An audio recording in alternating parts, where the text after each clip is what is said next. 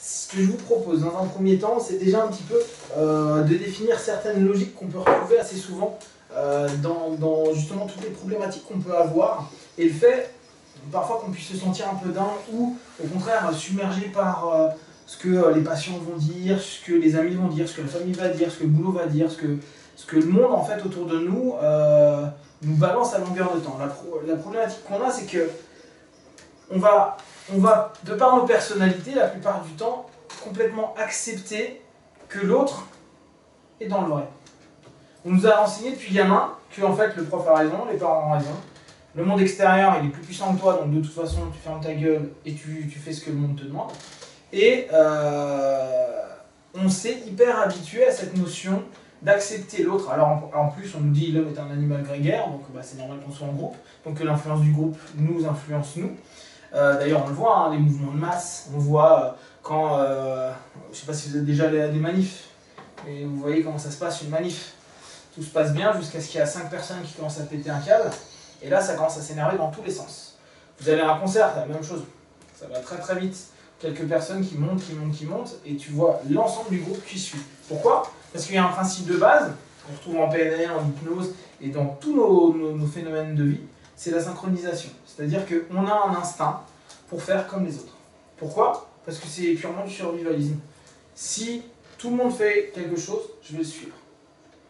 Et euh, je le suis pas parce que euh, j'ai envie de le suivre, parce que je suis dans une transe, une transe collective à ce moment-là, qui fait que j'accepte ce rapport-là. La transe, lien entre le conscient et le subconscient, en gros il y a un dialogue qui se fait à l'intérieur de moi, et à partir de là j'ai moins ce qu'on appelle un facteur critique, c'est-à-dire, euh, on va dire, une espèce de base de résistance logique, et à partir de cet élément-là, l'ensemble des influences extérieures qu'on appellera suggestions deviennent quasiment des réalités ou des ordres. Ce qui fait que euh, quand on est perdu à un, certain moment et que le groupe choisit quelque chose, on s'aperçoit qu'on suit le groupe. On le voit sur les fils. Vous voyez, quand il y a, vous êtes au supermarché, tout bêtement, tout le monde va sur la même file et le trois quarts du temps, on suit. On suit. En voiture, il y a de la place, on ne sait pas pourquoi, mais tout le monde se fout les uns à côté des autres. Alors après, il y aura toujours des exceptions, mais de manière générale, on suit. Et dans notre esprit, on a pris cette habitude-là. C'est-à-dire qu'on a supplanté notre dialogue interne, parce que nous, on est capable de dire au quotidien, de dire, ouais, non mais moi, je suis capable de faire ça. Comme elle a dit tout à l'heure, je suis capable, j'ai envie, je veux, je vais y arriver, j'y arriverai, je mets en place, j'avance, je suis, je suis prêt à, évoluer au travers de ça dans mon quotidien. On le remplace par, ouais, mais on m'a dit que c'était pas possible. On m'a dit que j'aurais mal au dos. On m'a dit que, euh, ouais, quoi, t'es gentil, mais euh, tes projets, euh, commence euh, petit et vois pas trop grand. Non, tu peux, il faut commencer petit, mais il faut voir grand. Et le problème, c'est que on, on nous a, de par l'enseignement traditionnel qu'on a pu avoir nous, en tout cas en France, c'est vachement, attends, attends, ça c'est le niveau d'après. Va pas trop vite, suis ce qu'on dit. Non mais arrête de lire ce qu'il y a après. On nous a toujours limité pour être dans la masse, le groupe. Et le problème, c'est que on a supplanté notre dialogue, qui est, euh, non mais moi j'ai envie de faire ça. Ah ouais, mais attends, t'es gentil pour faire ça. Il faut d'abord que t'aies ton bac, puis après il faut que t'aies ça, puis après que t'aies ça. Donc en gros, au lieu de te dire, bah vas-y mon gamin, fonce, cours, vole, ose, on a dit, tu sais qu'il faut déjà que tu sois bon en S. Il faut que tu fasses S. Puis après, il faut que tu fasses ça. Puis euh, le mec, il regarde, il dit, mais je suis pas bon en maths, donc ça veut dire que je serais incapable de. Donc là, mais le discours, il devient tellement compliqué qu'à l'intérieur, le gamin, il arrive en seconde, en première, en se disant, putain, mais je suis pas bon en maths, bah j'arriverai jamais à faire ce que je voulais. J'avais moi un gamin, par exemple, euh, qui est juste énorme, que j'avais dans le sud. Le gamin me dit, euh, il a, je l'ai suivi deux ans, et il voulait être pilote d'avion. Il a 10 ans. 10 ou 11 ans. Et euh, la dernière fois, il m'envoie un mail, il me dit Ouais, alors tout le boulot, à chaque fois, tout le boulot, c'était tu vas y arriver. Il n'est pas très bon en cours, c'est pas grave. Tu vas y arriver. Ses notes ont monté, se sont envolées. Super principe de vie. Euh, et il a fait son baptême de l'air, etc., etc. Donc le gamin, si on lui donne pas de limite, bah, il, va, il va là où il est capable d'aller. Le seul problème, c'est que notre monde, il est constamment en train de dire à notre dialogue interne Ferme ta gueule. On n'a pas envie de savoir ce que tu veux. Bon, c'est bien euh, si tu peux euh, y aller, mais il ne faut pas que tu sois plus fort que papa. Il faut pas que tu sois plus fort que. On a toujours plein de choses. Il y a. ah, on a envie que nos enfants nous dépassent. Ou dans le sport, que nos élèves nous dépassent. Pas trop vite. hein. Gentil, mon pote, mais je dois encore t'apprendre des choses. Et euh, c'est là où on se dit waouh, c'est dommage parce que le dialogue, bah, qui aurait dû être à l'intérieur de nous quelque chose où on est en stimulation, on en veut, on croit en nos rêves, au fur et à mesure, on dit ouais, t'es gentil. Euh, moi, tu sais, euh, je suis pas capable, j'y arrive pas, j'ai peur. J'ai peur. Est-ce que j'ai peur de ce que je pense moi ou est-ce que les autres vont penser de moi? Et au fur et à mesure, bah, on oublie de s'écouter. Puis cette voix, bah, elle devient chuchotement. Puis le chuchotement, bah, il n'arrive pas à répondre par rapport au diagnostic d'un médecin ou euh, aux croyances populaires de bah ouais, mais il n'y a que des gens comme ça qui arrivent, tu n'arriveras jamais à, à, à, rien dans ta vie, etc. Et il y a ce chuchotement qui disait, mais non, non, j'en suis capable. Et ce qui est énorme, c'est qu'en fait, dès qu'on commence à se dire non, non, non, ils ont peut-être raison, mais pour eux, ils ont raison dans ce qu'ils veulent croire. Et ils veulent m'imposer juste ce qu'ils veulent croire. Alors ils ont peut-être raison, mais pour eux. Moi, j'ai le droit de penser différemment. Moi, j'ai le droit d'avoir une énergie qui est différente. Et une chose qui est super intéressante, tac, qui vient. Alors, je ne sais pas si vous connaissez, tac, ces tests-là. Donc, résiste avec ton bras fort, voilà pense à un truc positif et résiste avec le bras. Ok, t'es bien? Ok. Donc là, je recommence, résiste, truc positif. Ok. Maintenant, pense à un truc négatif. Tu me dis Pense à un truc négatif Plus de résistance. Ok On fera des tests. Hein. Et vous allez voir. Ce qui est intéressant, merci. Toute pensée qu'on a un impact sur nous.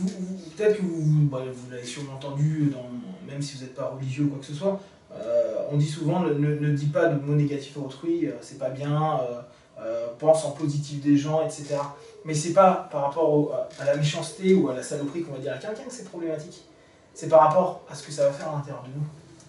Si on dit une saloperie, oui, peut-être qu'on va vexer quelqu'un, peut-être que le gars il va pas être content, peut-être qu'on va avoir des embrouilles, peut-être que peut-être. Ok. Mais si on s'en fout, bah, la première personne qui est impactée par le mauvais état d'esprit, la colère, l'énervement, l'insulte, c'est pas le mec, c'est nous c'est le discours qu'on va créer à l'intérieur de nous. Il va être en colère, il va être insultant, il va être diminuant, il va être négligent. Mais c'est à nous qu'on va balancer ça. C'est à nous qu'on va balancer le truc négatif en se disant Ouais, mais là, j'avais besoin de le dire. Ouais, t'as besoin de le dire. Sauf que cette énergie que tu viens de balancer, peut-être que le mec en a rien à battre. Petit 1, ce qui va, petit 2, te frustrer. Et d'une autre manière, ça influence ton corps, ça influence tes pensées, ça influence ton esprit, ça influence tout ce que tu mets en place. Et en PNL, ça c'est un des gros trucs de Robbins, mais euh, autant je suis pas tout à fait fan de Robbins, autant il y a des trucs où, là-dessus il est intéressant. Il dit mais changez votre discours intérieur. Pensez à des choses positives. Vous savez pas penser, vous savez pas, vous y arrivez pas, imaginez. Imaginez des choses positives. L'imagination, tout le monde y arrive. Je ne demande pas de visualiser, je ne demande pas de ressentir, je demande juste d'imaginer. Et ce qui est génial, c'est que Imaginer, c'est faire comme si. Et faire comme si, c'est une des premières méthodes qu'on a en auto-hypnose chez Hellman. To pretend. Fais comme si. Fais comme si tu n'avais plus mal au dos. Fais comme si tu avais déjà obtenu ce que tu voulais. Fais comme si tu arrivais à rencontrer les gens que tu voulais, évoluer là où tu veux envie d'aller, avoir le nombre de patients que tu veux, rencontrer euh, qui tu as envie, apprendre comme tu veux, apprendre rapidement, comprendre, etc. Fais comme si c'était déjà là. Parce que à l'intérieur de toi, le discours que tu mets, c'est des possibles. C'est plus, bah ouais, mais j'y arriverai pas. C'est, ouais, c'est possible que j'y arrive. Et si ça marche pas, pas de problème. C'est, et là on reprend Edison, on reprend tout le monde. C'est juste une manière en plus de ne pas aller à ton chemin. C'est cool. Donc tu sais que ça, tu le feras. Et tu changeras. Et dialogue, petit à petit, ça va être un dialogue plus de chuchotement, mais d'écoute. Et on va pouvoir, et avec l'extérieur, avec le retour que ça va faire, et à l'intérieur de nous, à se dire, bon, je suis prêt à m'écouter, je suis prêt à m'envoyer des choses qui sont positives et qui vont me permettre de grandir, d'évoluer, et me rendre compte que petit à petit, dans ce dialogue-là, je vais respirer. Je vais m'autoriser le droit de rêver, d'avancer, d'explorer.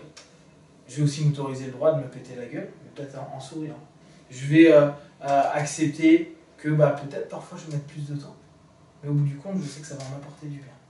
Et vous allez petit à petit, avec un dialogue qui ne sera plus celui des autres, choisir votre dialogue à vous. Et ce dialogue à vous, l'intérêt, c'est que personne ne pourra le salir, personne ne pourra vous l'enlever, personne ne pourra vous dire c'est bien ou c'est mal. Tout le monde peut critiquer tout ce qu'ils veulent, ils ne peuvent pas critiquer l'effort. On ne peut pas critiquer un effort. Qui est-ce qui peut critiquer l'effort de quelqu'un? À dire, ah, tu n'en as pas fait assez, mais t'en sais rien. T'es pas à l'intérieur de moi. Tu ne sais même pas l'effort que ça, ça a fait pour ne serait-ce que changer mon dialogue, ou pour faire 5 pas de plus, ou pour arrêter une clope, ou pour euh, faire du poids, ou pour marcher, ou pour, euh, ou pour trouver un job, ou pour ci, ou pour ça. Personne ne peut juger un effort. Et ce qui est génial, c'est que avec tout ce dialogue à l'intérieur, bah, vous allez petit à petit pouvoir avoir une source d'énergie qui vous appartient, qui n'est pas codépendante des autres, qui, qui est purement indépendante, et que vous pouvez après partager, offrir et donner avec les autres, parce que avec cet alignement que vous allez avoir, alors après chacun dans les systèmes appelle ce qu'il veut, il y en a qui disent c'est l'alignement, c'est les coups de juste, c'est euh, le soi, euh, l'ego, euh, l'ego propre, etc., etc. Chacun va, va l'appeler à sa manière, mais l'intérêt c'est que ça va vous permettre petit à petit de créer un puzzle qui n'est pas le puzzle des autres qui n'est pas le puzzle de papa, de maman, de la société, du monde, etc., mais le vôtre. Donc là, ce que je vous propose, c'est de vous amuser, ne serait-ce qu'à tester sur le corps l'impact que ça fait d'avoir une pensée négative, d'avoir une pensée positive, par rapport à des petits jeux, des petits exercices. Ça vous dit? Ok, bah, on va faire ça.